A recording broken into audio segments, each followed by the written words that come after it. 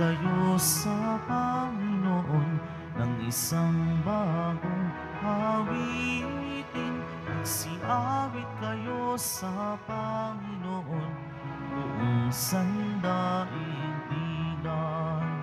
Awitan ang Panginoon at purihin ang kaniyang ngalan. Ipahayag ang kanyang pagliligtas sa lahat ng panahon. Magsiawit kayo sa Panginoon ng isang bagong awitin.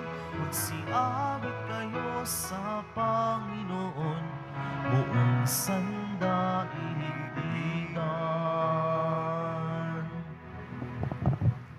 Sa ngalan ng Ama at ng Anak at ng Espiritu Santo, Amen.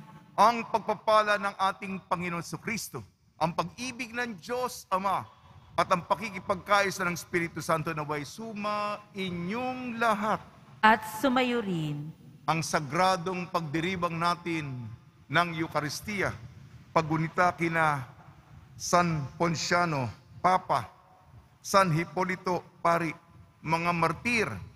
Sinisimulan natin ngayon ang Triduo. Sabado, Linggo, Lunes, Triduo. Para kay San Roque, tumulong siya sa atin nung kapanahunan ng sa kasalukuyan pa rin ng pandemya. Mga kapatid, aminin po natin ating mga kasalanan upang tayo maging marapat gumanap sa banal na pagdiriwang. Inaamin ko Sa makapangyarihang Diyos at sa inyo mga kapatid, na luba akong nagkasala sa isip, sa salita at sa gawa at sa aking pagkukulang. Kaya isinasamo ko sa mahal na Birhing Maria, sa lahat ng mga anghel at mga banal at sa inyo mga kapatid, na ako'y ipanalangin sa Panginoong ating Diyos. Kaawan tayo ng makapangyarihan Diyos, patawarin tayo sa ating makasalanan at patnubayan tayo sa buhay na walang hanggan. Amen. Panginoon, kaawaan mo kami. Panginoon, kaawaan mo kami. Kristo, kaawaan mo kami. Kristo, kaawaan mo kami. Panginoon, kaawaan mo kami. Panginoon, kaawaan mo kami. Manalangin tayo. Ama naming makapangyarihan, ang matyagang pagtitiis ng iyong mga kinalugdan. Sina San Ponciano at San Hipolito ay magdulot nawa sa amin ang iyong ibayong pagmamahal at sa kalooban namin lagi nawa nitong maipairal ang pananampalatayang may katatagan sa pamamagitan ng Kristo kasama ng Espiritu Santo magpa sa walang hanggan. Amen. Magsiupo ang lahat.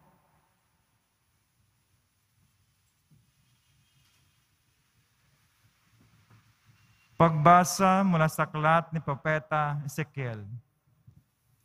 Sinabi sa akin ng Panginoon, Ano ba ang ibig ninyong sabihin sa kasabihan ninyong, ang ama ang kumakain ng maasim na ubas, ngunit ang anak ang nangingilo? Buhay ako, sabi ng Panginoon. Hindi ninyo magagamit ngayon ang kasabihang ito sa Israel.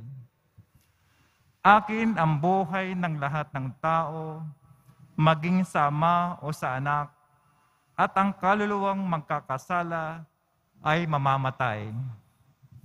Halimbawa, na may isang taong masunurin sa kautusan, tapat at lumalakad sa katwiran. Hindi siya nakikisalo sa handog na hinihain sa mga burol, hindi sumasamba sa mga Diyos-Diyosan ng Israel. Hindi siya nangangalunya, ni sumisiping sa babaeng pinapanahon. Hindi siya nandadaya ng kapwa o nagnanakaw. Binabalik niya agad sa may-ari ang sangla ng nangungutang sa kanya. Marunong siyang tumulong sa nangangailangan.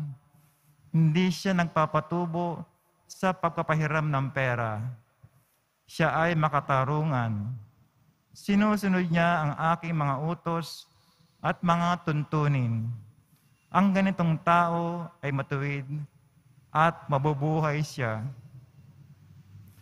Sakaling magkaanak siya ng magnanakaw, mamamatay tao, at nagpapatubo, palagay ba, ni, palagay ba ninyo'y mabubuhay ang anak na ito?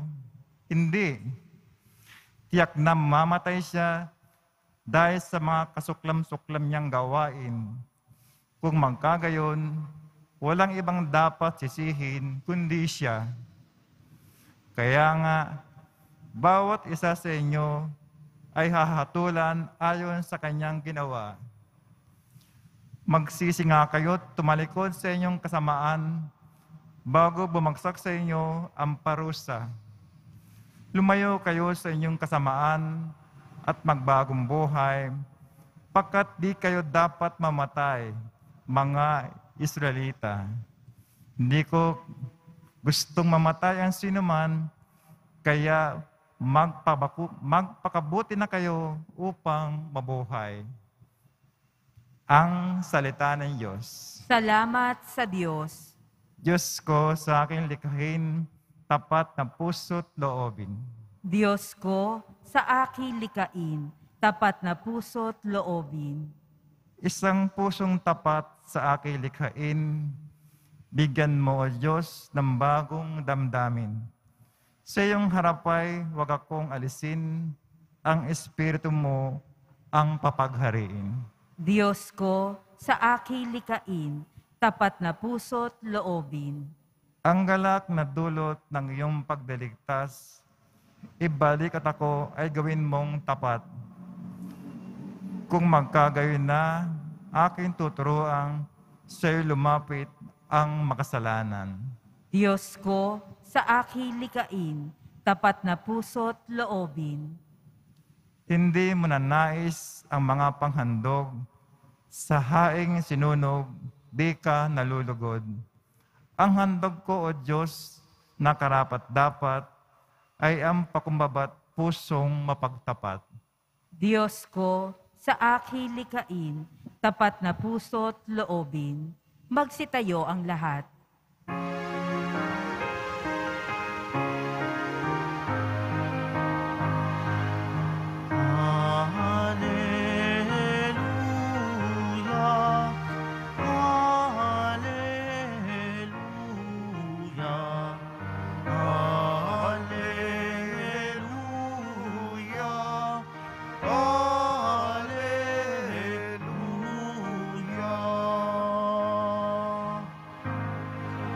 Papuri sa Diyos Ama, pagkat ipinahayag niya, hari siya ng mga ama.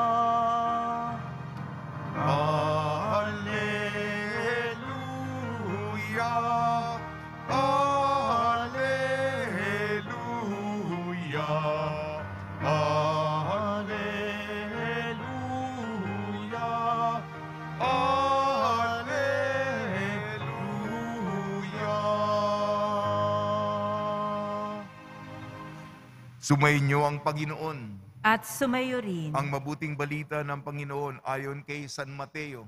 Papuri sa iyo, Panginoon. Noong panong iyon, may nagdala ng mga bata kay Jesus upang hilinging ipatong niya sa mga ito ang kanyang kamay at ipanalangin.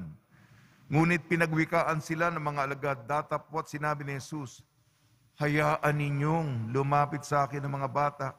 Huwag ninyo silang hadlangin, sapagkat sa mga katulad nila nagahari ang Diyos. Ipinatong niya sa kanila ang kanyang kamay at saka umalis ang mabuting balita ng Panginoon. Pinupuri ka namin, Panginoong Yeso Kristo. Magsiupo ang lahat. Binabati po namin kayo ng pagpapala, pagbibindisyon, pagbibiyaya, pagkakalob ng napakaraming grasya mula sa ating napakabait, Nuestro Padre Jesus Nazareno. Ngayong Sabado para sa mahal na Birhing Maria, Pagnilayan po natin ang salita ng Diyos. Propeta Ezekiel, unang pagbasa. Hindi po to na ayon sa dugo. Siya ang aking tatay, ako ang anak. Pambira naman yung tatay ko. Ako nagbabayad ng mga kasalanan niya. Sa susunod pa mga henerasyon, may ganong kaisipan. Tinutuwid. Tayo po'y titimbangin. Tayo po'y huhusgahan. Tayo po'y gagantimpalaan. Tayo po'y parurusahan. Ayon po sa ginawa natin. Ano ba suma total ng inyong mga aksyon? Kung ikaw ay mapagkawang gawa, lalo na yung mga mahihina, walang boses, mahihina sa lipunan, tinulungan mo sila, nakita mo ang Panginoon sa kanila, gantimpala ay sa iyo. Hindi ito sa dugo, kamag-anak. At kung ikaw naman ay nagnakaw, pumatay ng tao, inapi, inabuso, pinagsamantalahan ng kapwa, lalong-lalo na yung mga mahihina, ang galit ng Diyos, tsak, natatama sa iyo. Yan po yung propeta noon. Ito pa'y bago yung ebanghelyo at totoong totoo hanggang ngayon. Magkakaalaman, magkakabistuhan, magiging hayagan, ano ang ginawa natin. Masama at mabuti. Kaya kung gumawa tayo ng mga kasalanan, may reparasyon na tayo. Magsisi na tayo. Humingi na tayo ng patawad sa Kanya at sa pagsisisi, mga gawain ng kabanalan, pagkakawang gawa, ayuda, karidad. Sa ating ebanghelyo ayon kay San Mateo, palapitin ng mga bata. Kahapon po yung maraming mga taong dumalo. Biyernes, salamat na salamat sa inyo kahit na ang mag-asawa, pamilya, eh, yung mga bata. Yan, may sanggol dito. Ang bunga ng pagmamahalan ng mga mag-asawa para sa mga sanggol nila. Makikita mo ang mukha mo sa iyong anak. Bunga ng pag-iibigan. Panatilihing sagrado. Panatilihing buo. Panatilihin yung pinagsama ng Diyos. Huwag mong tangkain na sirain. Sapagkat ang sisirain mo, ikaw. Yung sanggol. Palapitin yung mga bata. Alagaan sila. Ikaw, dumaan ka sa pagkabata. Lahat tayo naging bata. Baka lang nakalimutan na natin yun. Sa problema ngayon. Tayo makakapasok sa langit na may ugali ng nagtitiwalang sanggol sa kanyang magulang na ang Diyos. Sa tulong ni Maria, may posisyon po tayo, a 15 na Agosto, Nuestra Señora de la Buena Hora ni San Jose, gayon din ang ah, si San Roque sa um, pistahan niya, di- 16 Martes. Si San Ponciano, San Hipolito, mga martir ng simbahan, nagtaya ng sarili, nawa po ay tumalima tayo sa kanyang kalooban.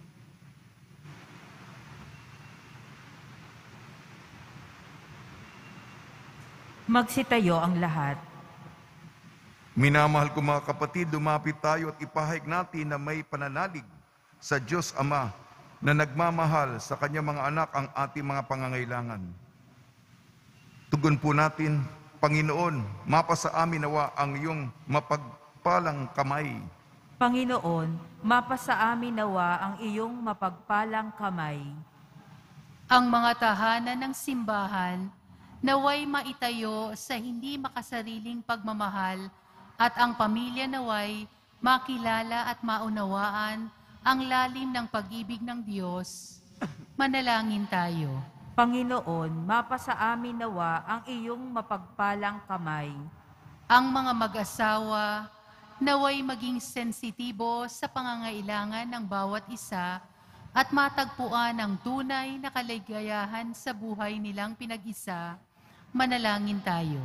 Panginoon, mapasa amin nawa ang iyong mapagpalang kamay.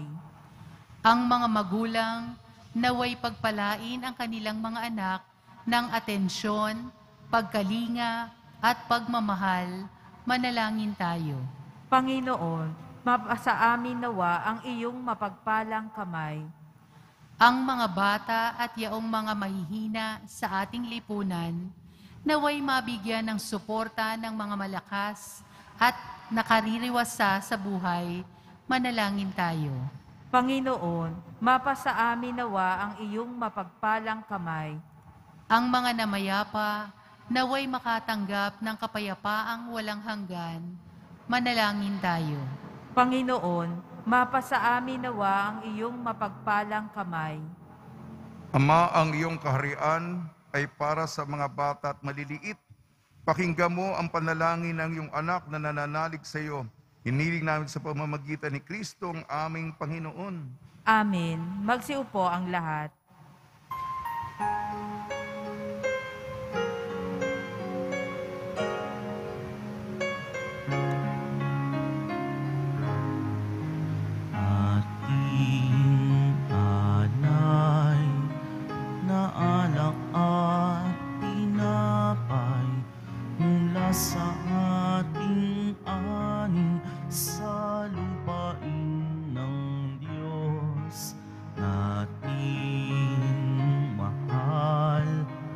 Na siya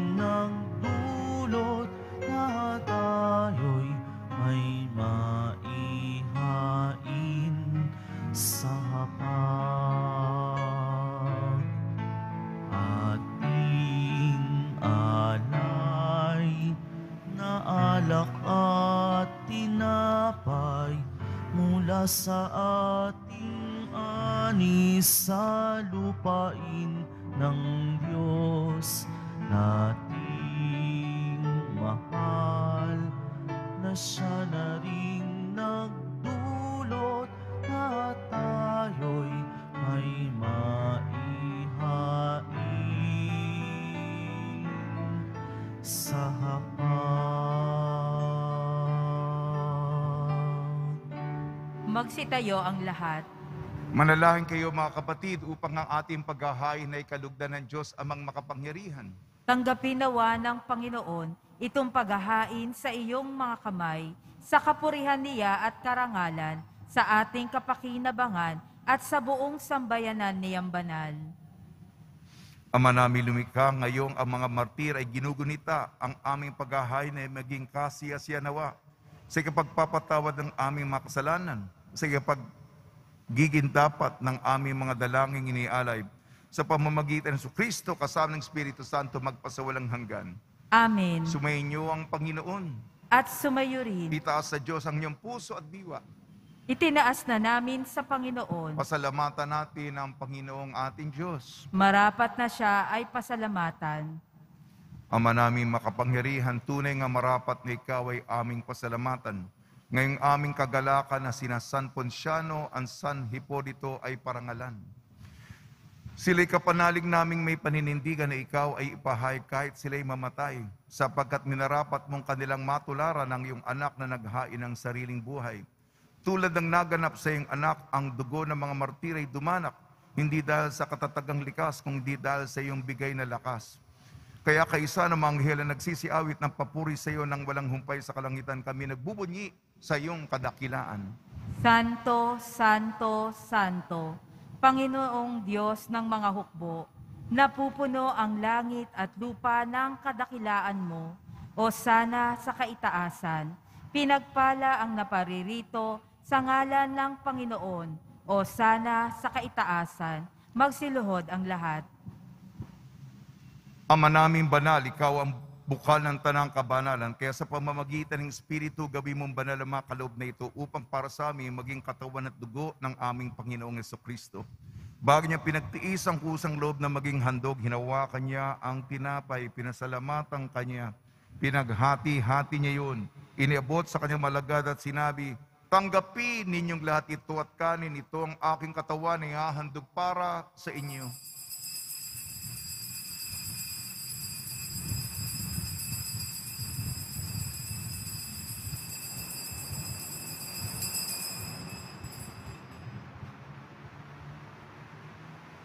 Gayun din naman nung matapos ang hapunan, hinawakan niya ang kalis, muli kanyang pinasalamatan. Inibot niya ang kalis sa kanyang malagad at sinabi, Tanggapin ninyong lahat ito at inumin, ito ang kalis ng aking dugo, nagbago at walang hanggan tipan. Aking dugo na ibubuhos para sa inyo at para sa lahat sa ikapagpapatawad ng makasalanan, gawin ninyo sa pag-alala sa akin.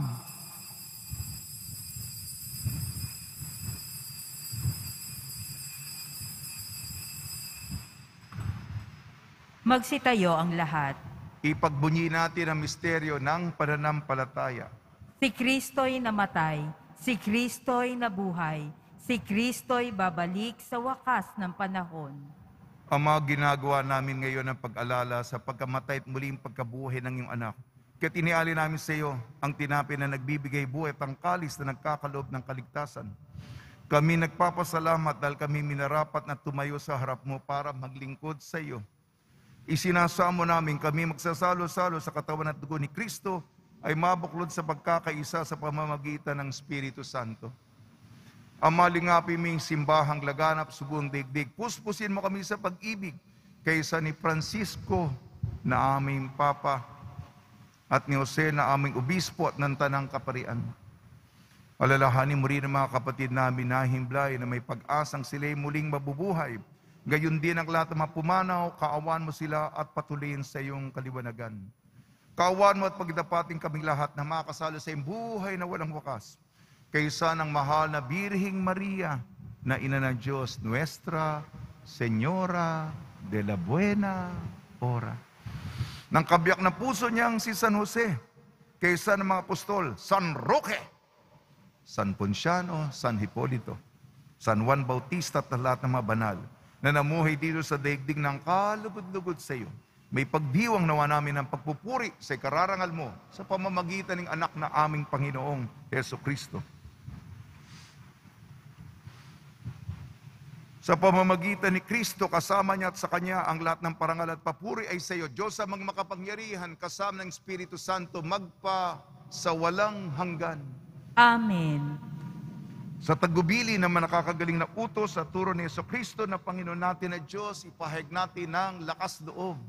Ama namin, sumasalangit ka, sambahin ang ngalan mo, mapasa amin ang kaharian mo, sundin ang loob mo dito sa lupa para nang sa langit. Bigyan mo kami ngayon ng aming kakanin sa araw-araw at patawarin mo kami sa aming mga sala para ng pagpapatawad namin sa nagkakasala sa amin at huwag mo kaming ipaintulot sa tukso at iadya mo kami sa lahat ng masama. Hinihiling namin kami iadya sa lahat ng masama, pagkalooban ng kapayapaan, araw-araw iligtas sa kasalanan at ilayo sa lahat ng kapahamakan. Samantalang aming pinananabikan ang dakilang araw ng pagpapahayag ng tagapagligtas naming Yeso Kristo. Sapagkat iyo ang kaharian at ang kapangyarihan at ang kapurihan magpakailanman. Amen. Panginoon sa Kristo, sinabi mo sa mga apostol, kapayapaan, iniiwang sa inyo ang aking kapayapaan, ibinigay, ay binibigay ko sa inyo. Tungyan mo ng aming pananampalataya at huwag ang aming mapagkakasala. At pagkalooban mo kami ng kapayapaan, at pagkakaisain sa iyong kalooban, kasama ng Espiritu Santo, magpasawalang hanggan. Amen. Mga kapatid, mga kaibigan, subayin niyo po ang kapayapaan ng ating Panginoon. At sumayo rin. Magbigayan po tayo ng kapayapaan sa isa't isa. Kordero ng Diyos na nag-aalis ng mga kasalanan ng sanlibutan, maawa ka sa amin. Kordero ng Diyos na nag-aalis ng mga kasalanan ng sanlibutan, maawa ka sa amin. Kordero ng Diyos na nag-aalis ng mga kasalanan ng sanlibutan, Ipagkaloob mo sa amin ang kapayapaan. Magsiluhod ang lahat. Ito ang kordero ng Diyos. Ito nag-aalis ng kasalanan ng sanlibutan. Mapalad ang inayayahan sa kanyang piging. Panginoon, hindi ako karapat dapat na magpatuloy sa iyo, ngunit sa isang salita mo lamang ay gagaling na ako.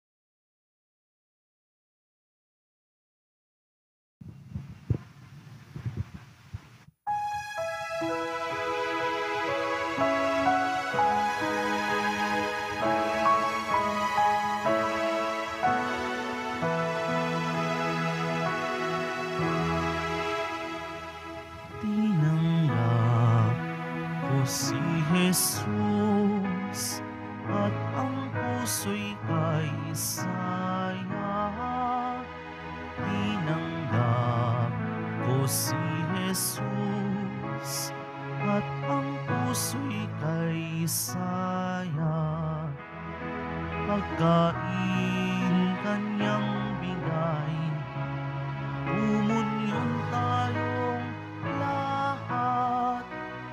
Umira sa loob ko. Buklod tayo sa Diyos. Tinanggap ko si Jesus At ang puso'y kay saya ko si Jesus at ang puso'y kay saya. Pag-ibig kanyang alay, magsimba tuwing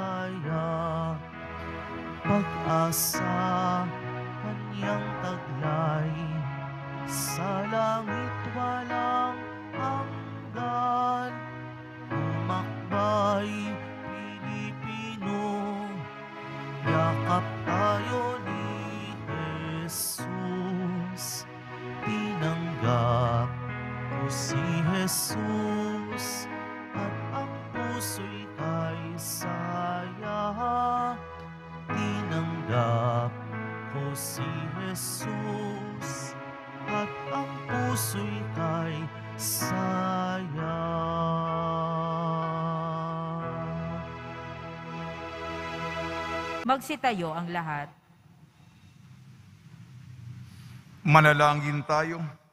Ama namin mapagmahal kami nakinabang sa katawan ni Kristo ay iyong pagbigyan sa pag-ibig niyang huwag magpawalay kailanman.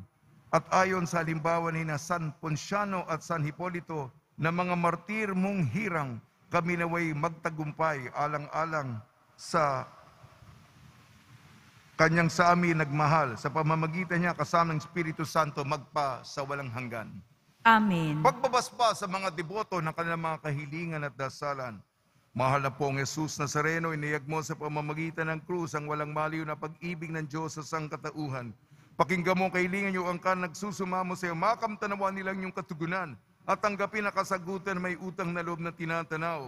Basbasan di po niya mga daladala nila mga imahin at dasalan sa pamamagitan ng bendisyon ito.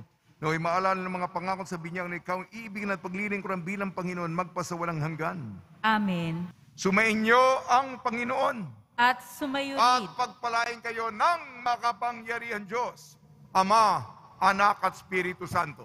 Amen. Taglayin po ninyo sa inyong pag-alis ang kapayapaan ni Yesu Kristo. Salamat sa Diyos.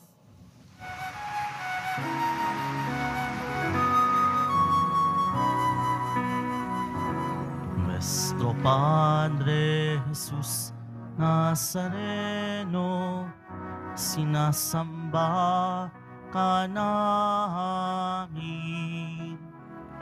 Pinipintuho ka namin.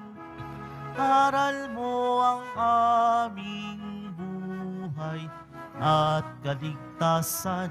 Nuestro Padre Jesus Nazareno, iligtas mo kami sa kasalanan. Ang krus mong kinamatayan ay sagisag ng aming kaligtasan. Nuestro Padre Jesus Nazareno, dinarangal ka namin.